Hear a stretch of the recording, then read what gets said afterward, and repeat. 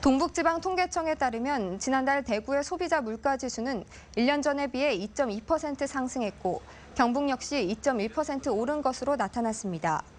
대구의 경우 생활 물가가 3.1% 오른 가운데 신선 식품 물가는 11.2% 상승했습니다.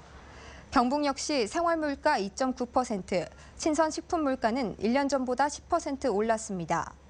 지난해와 비교하면 달걀과 오징어, 돼지고기 등이 많이 비싸졌고 6월과 비교하면 배추와 상추, 돼지고기 등의 가격이 많이 오른 것으로 조사됐습니다.